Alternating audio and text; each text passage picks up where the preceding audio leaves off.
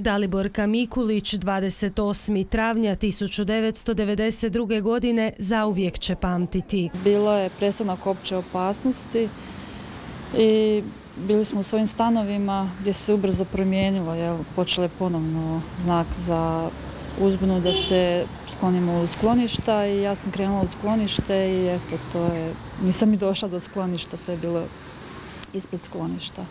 Znači pala je granata, jedna, odnosno dvije, jedna je mene pogodila, a druga je neposredno pored mene. Daliborka je preživjela, nažalost posljedice su ostale. Ja sam invalid 80% i nemam desnu potkoljenicu. Bila je tada 12-godišnjakinja, morala je nastaviti dalje sa životom, pronaći svoje mjesto pod suncem, za sve se sama izborila.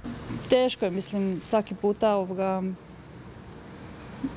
ne znam, susrećete se sa raznim, a da ne kažem preprekama u životu, jel? Od trebali ste nastaviti dalje i u školu i društvo i roditelji. Ponekad sam više ja neke tješila e, bliske ljude da njima bude lakše nego obratno. S odmakom od 23 godine Daliborka je tek jedna od tisuće i tisuće civilnih žrtava rata. Stradala je ne svojom krivicom, no sustav je zakazao. Više od 20 godina od završetka rata civilne žrtve u Hrvatskoj dalje nemaju zakon koji bi u potpunosti regulirao njihova prava. za 20 godina e, doista pričamo jednu te istu priču. Ponovno su nas prevarili, ponovno nije donesen taj famozni zakon. Pa su tako primjerice roditelji djece poginule u ratu i dalje bez primjerene naknade. Zakon postoji, ali je priznaju iz resornog ministarstva tek mrtvo slovo na papiru. Roditelji poginule djece stvarno su zakinuti što se tiče prava, jer e, e, M su zakinuti što se tiče osnovice priznavanja prava, a postoji i neke zapreke koje zapravo onemogućavaju ostvarivanje tih prava. Mi ćemo maknuti te, te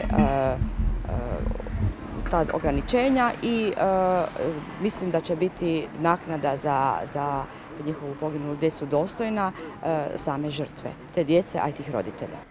Iako su iz Ministarstva branitelja optimistično najavljivali donošenje zakona, za sada imamo radni materijal te formiranu radnu skupinu. Dosadašnjim prijedlozima reguliranja prava civilnih stradalnika i zajednice udruga prilično su zadovoljni. Ne bi previše govorila o, o, pojedinostima, osim što je na tragu onoga što smo mi tražili, dakle da se izjednače e, osnovice za e, tjelesno oštećenje i da se brišu prepreke za obiteljske invalidnine, e, da prevedeno da svi oni koji su izgubili člana obitelji imaju pravo na naknadu. No iako je zakon prema zadnjim obećanjima već trebao biti u proceduri, ponovno je prolongiran. Meni osobno nije jasno zašto je on stavljen u četvrti kvartal.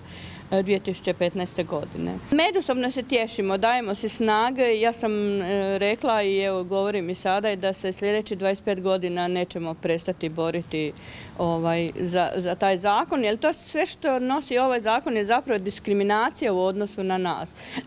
mi naprosto ne želimo takvu državu koja diskriminira cijelu jednu populaciju iz, iz domovinskog rata. Nadu u pravdu ne gubi ni Daliborka s početka priče. Zbog seba i zbog djece, evo najviše zbog djece koja su poginula u ratu.